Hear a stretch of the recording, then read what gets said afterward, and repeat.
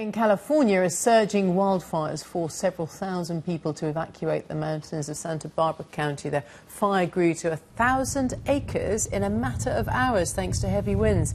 Many campgrounds in the area were closed, forcing the evacuation of thousands of campers. The American Red Cross has set up one evacuation centre at a local college and another for horses stalled in the area's many stables.